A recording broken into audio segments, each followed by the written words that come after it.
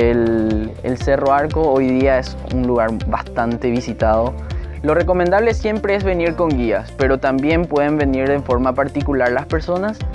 Eh, hay un grupo de, guías locales también de acá de la compañía Rosado eh, que también hacen los guiados en estas zonas. Lo que recorrimos en los distintos lugares para llegar al Cerro Arco, para este punto, pasamos por el salto rosado, un salto de agua que depende mucho de lo que es la lluvia.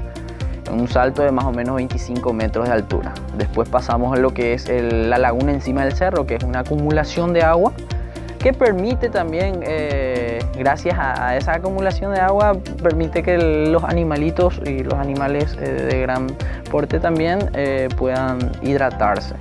una de las riquezas que, hay en, esta zona también es que gracias a los cerros hay distintos tipos de, fauna.